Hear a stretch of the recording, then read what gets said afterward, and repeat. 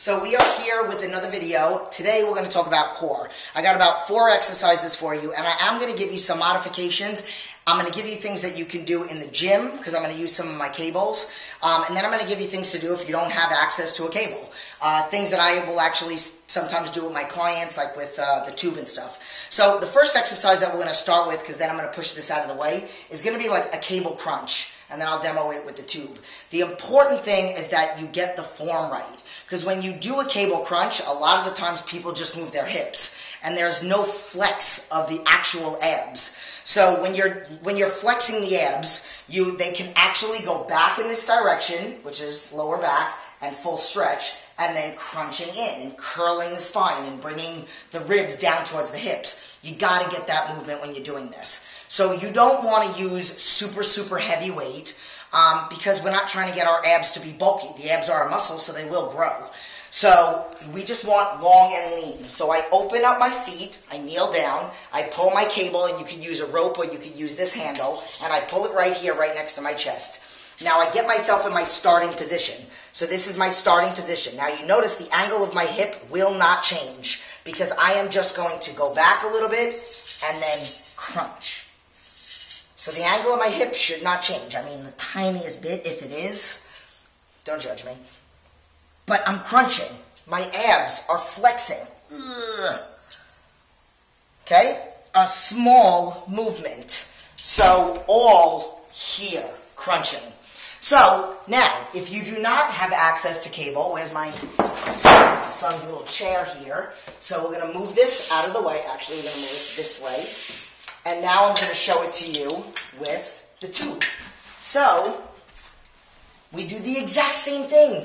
So now you have a tube and you attach it to something up top. You grab onto your tube, you put it in the same position. You get your starting position and you crunch. Same thing. And sometimes it's really good to do with the tube because, as I've mentioned in previous videos, when you pull the tube, it starts out heavy and then it gets heavier and heavier and heavier as you crunch. So, now we're going to move on to the next one. So we're going to go to some core. I'm also going to give modifications for this one as well. You can actually do this hanging, or you can do this in these ab things, which they should actually be lower. Uh, so, let's see if I can move them real quick. Oh, no, they don't go on the lower one. Okay. So, you're going to put your hands in these. Now, you can buy these for like $5. They sometimes come with that little pull-up bar. You can buy them in any sporting goods store and on Amazon.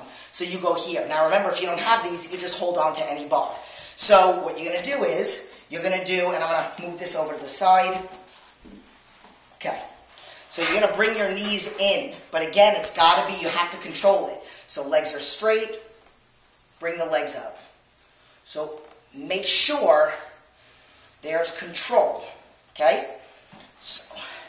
Then, just moving my arm, then you can also do some obliques. So they're called windshield wipers. So you want to start and then go around. Now, I'm really trying to watch that I don't kick this thing. If that's too difficult, then a modification for that could be just bringing the knees up to the side. Okay? And then you practice doing the full windshield wiper all the way around. Real windshield wipers, a banana sandwich. So you actually hold on to here or up there.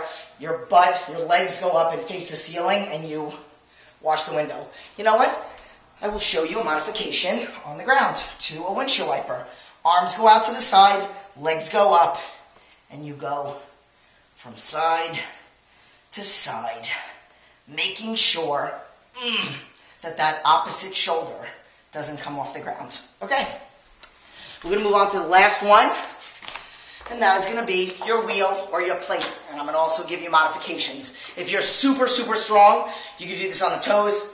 I'm not doing it on the toes. So, the point here is yet again another thing with the hips. So this is not a rollout. And you'll sometimes see people doing them that way. You have to drop your body. So, you drop your body, pull it back in. Keep this nice and tight. Drop your body, ugh, pull it back in. Some people can touch the ground. Notice how I really do like to do them with the knees open. If you don't have a wheel, You could do it the same way here or with a towel on a wood floor. So, you roll out and pull in. It's a little bit harder. Now, if it's really hard for you to get in, but you want to see how far you can go, you could do it a different way. What you could do is start in this position. You want to go all the way out, slow, slow, slow, hold it, hold it, drop down, start again. Slow, slow, slow, hold it, drop down, start it again. So there's another modification for you. I hope you like this. So go down, let me know, like it, share it, let me know what your thoughts are on it. Um, you guys know all the links to all the different programs that we have are all going to be at the bottom. Hope you liked it.